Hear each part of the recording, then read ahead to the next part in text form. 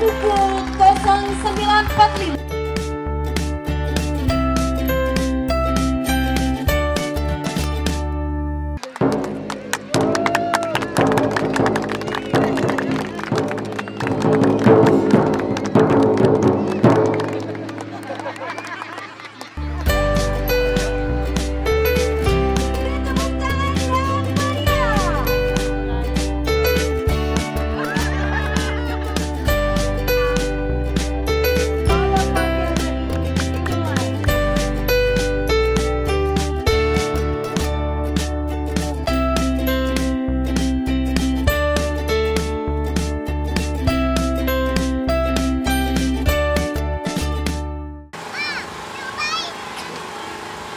Ini adalah rangkaian hari jadi Kabupaten Pasuruan ke 1090 sekaligus puncak Hari Anak Nasional.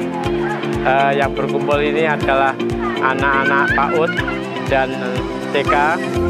Ada sekitar 3.500 peserta dan ini semuanya adalah lomba mewarnai untuk memancing eh, ekspresi anak-anak Pasuruan menjadi kreatif, menjadi inovatif karena sekarang ini adalah semuanya berdaya saing dalam digitalisasi uh, global.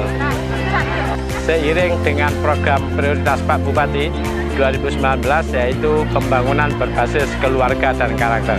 Kami berharap keluarga di rumah adalah bisa mengawal, membina anak-anak dengan akhlak yang mulia, ke, membiasakan dengan kebiasaan yang baik, uh, juga dengan uh, pendidikan agama dan contoh yang baik uh, di rumah oleh orang tua.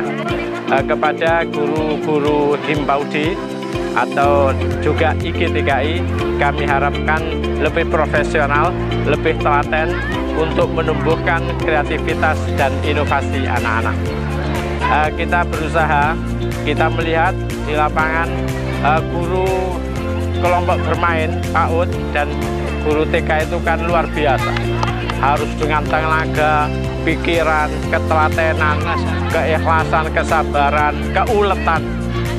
Oleh karenanya eh, kami eh, Pak Bupati sudah eh, memprioritaskan pembangunan ini juga termasuk oleh guru-guru. Insya Allah 2021 nanti.